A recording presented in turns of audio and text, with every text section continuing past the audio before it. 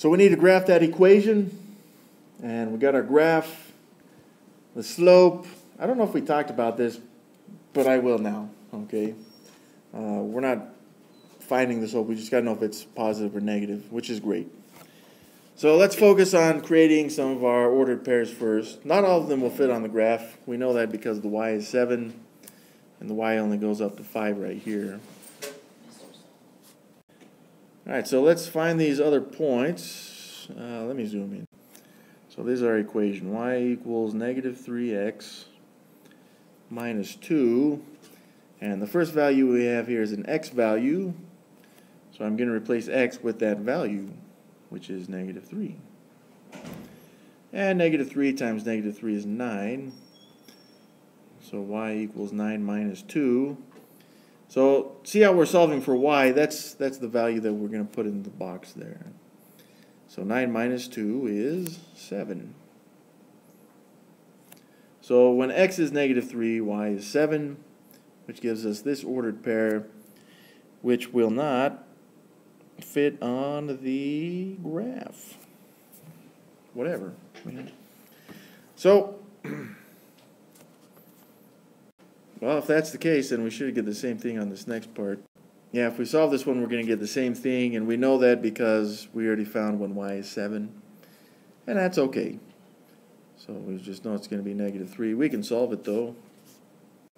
So there we go on that one. All right, let's try when x is negative 2 then. So we got y equals negative 3x minus 2 again. We're replacing the x with negative 2. So 3, negative 3 times negative 2 is 6. y equals 6 minus 2. And so y equals 4. Well, that'll fit on the graph. That's nice. The next one, we have y is negative 5. So y equals negative 3x minus 2. But y is negative 5.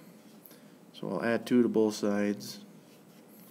And I got negative 3 equals negative 3x. Divide both sides by negative 3. And my x is 1. This last one should be pretty easy. y equals negative 3x minus 2, but x is 0. And anything times 0 is 0. So y equals 0 minus 2 and the y value would be negative 2. Question. All right, on this one we have the point, uh, these two points won't fit on there, the negative 3, 7. And that's okay, because all the other ones will. So negative 2 and 4 would be this point here. And then we got 1, negative 5 right here. And the other point we have is 0, negative 2. So those are the three points. To graph this thing, we're just going to draw a line through the three points like this, and that's good. So when it's asking for the slope there, it's just asking if it's positive or negative. And right here we can see, since it's going down from left to right, right, if, if you were to stand on this thing right here, you'd slide down this way, to the right specifically. So we would say that it has a negative negative slope. I think that's how you spell negative. Yeah, if we had a positive slope, so if this is our axis like this.